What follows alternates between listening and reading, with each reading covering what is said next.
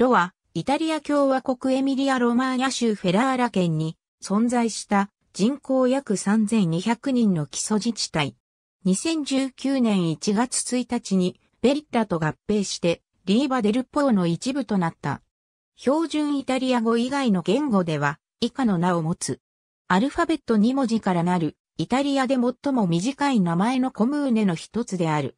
同様に短いものには、ル、レ、ネ、ボーがある。なお、名称の類似したローもある。フェラーラ県北部に位置する、ポー川右岸の町である。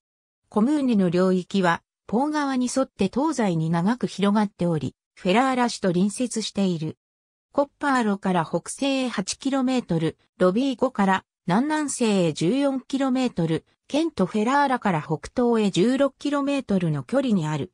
隣接コムーネコムーネとしてのロは、以下のコムーネと隣接していた。ローは、ロビー語県所属を示す。コムーネの中心集落であるロの集落は、ポー川のほとりにあり、対岸のポレゼッラの町との間には、橋が架けられている。ロからポー川下流に向かって、クアルダ・ファラレーゼやアルベローネの集落があり、アルベローネはロから約 6km 離れている。ロから南西へ約 4km、フェラーラに向かう途中には、ルイナの集落がある。